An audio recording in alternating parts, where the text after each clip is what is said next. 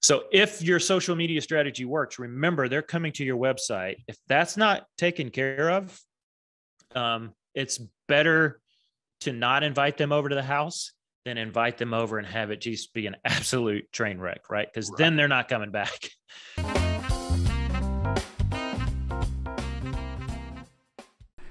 Well, welcome everyone to this latest episode of the Development Effectiveness Strategies in the Jim and Java program.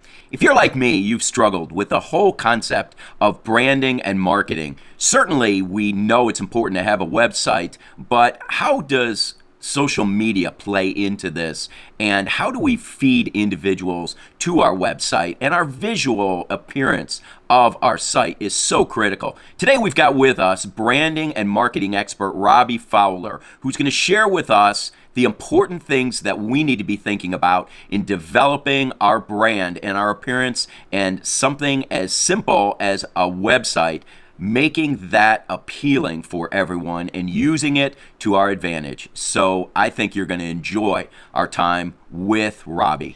Uh, I'd like to start out a little bit with asking you to tell us your story. Our viewers would love to find out a little bit about how you got to the point where you're at right now. So I grew up in Texas.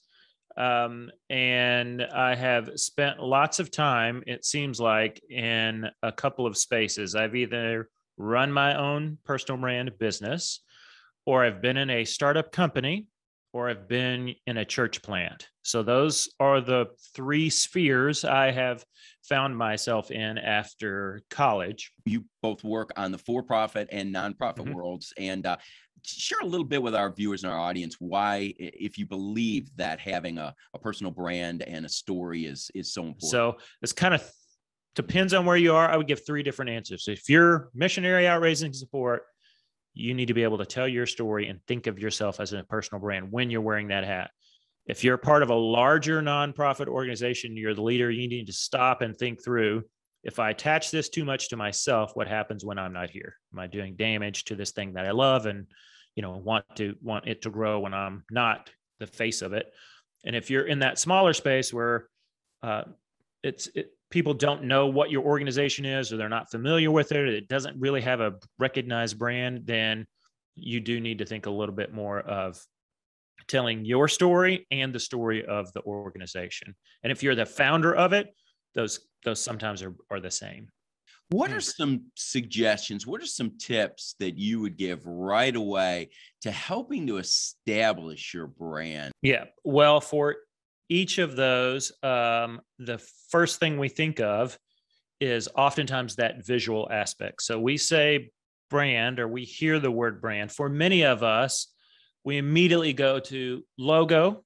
Oh, so I need a logo, right? Okay, I do. You're right. I need to go grab a logo. Some of us think a little bit beyond that to other visual elements like a color palette or my visual identity or need my website to look a certain way or my brochure should look sharp it should have good design because that's my brand. That is just one aspect. I think that's one of six elements that goes into your brand. And it's the only one we think about. It's the most concrete but for most of us again unless we're a really large organization it's not the actually the most important. It's very important. I come from a design background, but it's not the most important. So the other elements you need to think through. That's the visual identity part of your brand. Mm-hmm. Then there's a verbal part of your brand. So if you're in a uh, nonprofit organization that works with higher ed, right? And that's your ministry, that's the space you're in.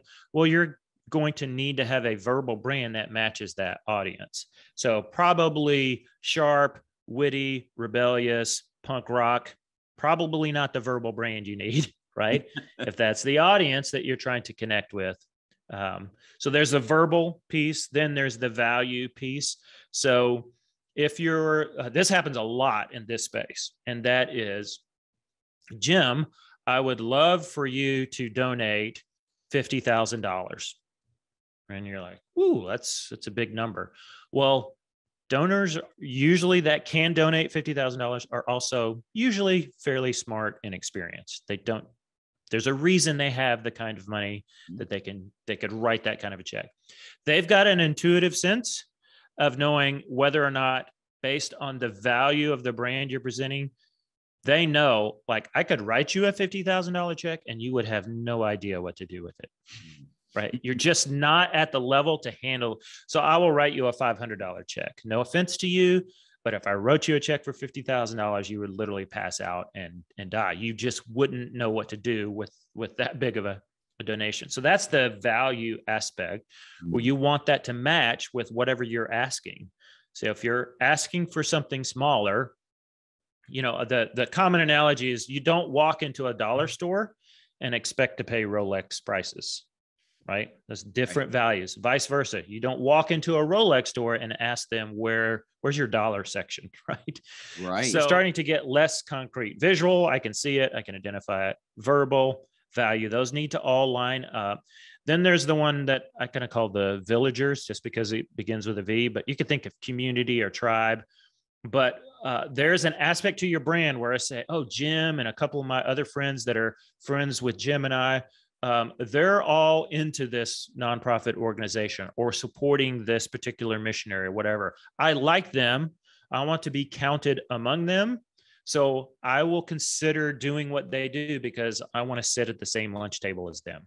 Mm. Okay. So that's that, that that's remarkably strong.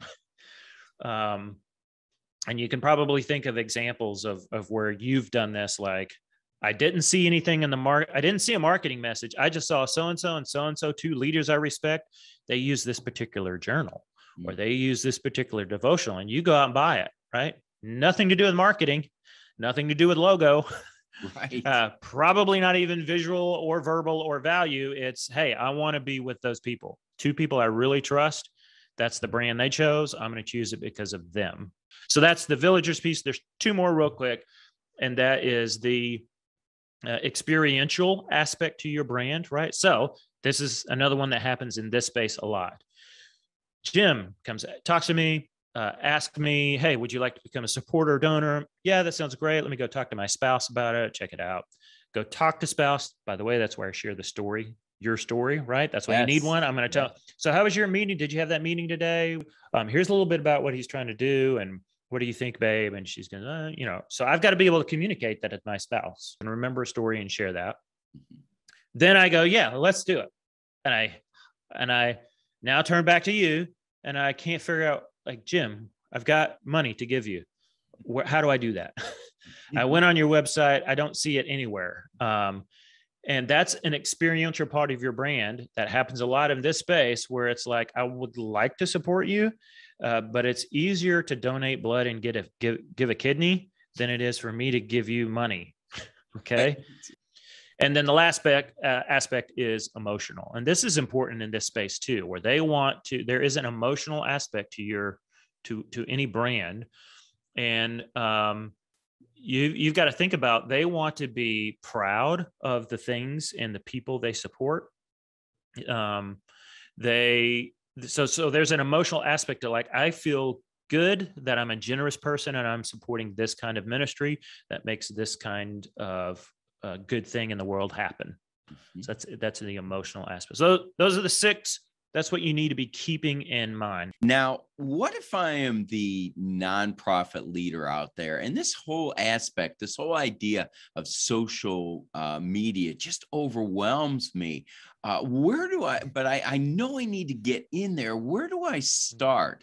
How do I go about kind of venturing into this territory? Yeah. Well, take a deep breath. It's overwhelming for all of us who also want to have a life. okay. There's other issues there for another podcast, right? To go. Um, but for most of us, that's normal for the because the space is so enormous. It's growing all the time. What channels, what mediums should I be on? And then you find out there's a whole new one, you know, like haven't figured the other ones out. Now TikTok's on the scene. Am I supposed to be doing TikTok? What about Snapchat? Is that still out there? On and on it goes. So it's normal to feel overwhelmed. When it comes to uh, strategy on okay, how do I use that? What role does this play? In general, you need to remember that social media gives you the opportunity to, for the most part, cast the widest net. Okay, and it's going to fall in the in the kind of bucket of marketing. Okay, so let's keep this really really simple and get rid of the technical terms that sound get confusing. Marketing's role is simply to make more people, in this case, we'd be thinking probably supporters or donors. It, the goal of marketing is to make more of them aware that you are out there. So, in that sense, if we're thinking funnel, right, it's way up here at the top mm-hmm. of the funnel because it casts the widest net. Now, here's what too many of us don't think of because we want a strategy for managing that. And I say, before I give you the strategy, quick time out. If the strategy I give you works, cast the net and starts to bring some fish in, so to speak. Um, if you don't think through your website, it's it's worse than not casting the net at all. Okay. So if your social media strategy works, remember they're coming to your website. If that's not taken care of, um, it's better to not invite them over to the house then invite them over and have it just be an absolute train wreck, right? Because right. then they're not coming back. Great so that's the that's the first part is remember the role that it's playing. Secondly, um, it's it's pretty easy to you need to think about uh, the people if if we're thinking more in terms of support and donors um, you need to think through where are the supporters and donors that i am already working with of the various social media channels where are the kinds of people I already have attracted, where are they hanging out? You know, so if they're not on Facebook or for most of us, they're not probably on TikTok. So uh, you need to figure out what platform they're on, start there, and then start with a rhythm or a routine that is manageable for you. And that's different for for everyone. Can you talk about what kind of services that you offer that you provide for mm-hmm. individuals who they've been listening to this uh, during our during this broadcast and they've they've said, "Wow, I really need someone like Robby. What can they do for me?" What if they're a nonprofit organization? If they're a nonprofit or or if they're a missionary and they need that website piece, mm-hmm. they oh, can oh, go to mydiysupport.com. They could go get that buy it right now, get started today, have a website up in two days if they have their stuff together. If they're an organization and I have, um, you know, I work with those sometimes one on one, like, hey, we're an organization. Typically, what I'm helping them do is most of them struggle with clarity on exactly um, how do they communicate what they do to a potential donor or supporter. That's where much of the struggle is. And how's the best way for them to get a hold of you? Yeah, it's easiest just to email me. Um, I'm doing work in those spaces all of the time, but you may not find, you know, everything there is that I could help or offer for this particular space on the website. The easiest place to go is robbief.com. Most social media stuff is R Fowler, just the letter R, and then my last name F O W L E R. Any closing comments? Anything that uh, you just add to our viewers? One other thing uh, for them to know about as far as resource goes that's absolutely free. I have a podcast. It's called the Brand Ed, like branded, but brand, one word. Ed, kind of like education, the play on words there, Brand Ed uh-huh, podcast like of, you know, even a deeper dive into some of the things we've talked about here on that podcast, including the framework that I use to work with every client in any of those three industries. Robby, thank you very much. Once again, I appreciate your heart. Thank you for helping out our audience, and uh, I hope uh, hope someone will get in touch with you. Awesome. Thanks, Jim.